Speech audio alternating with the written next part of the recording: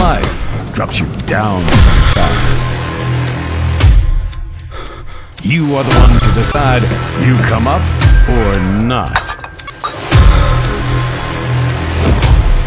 Don't wish to be, work to be.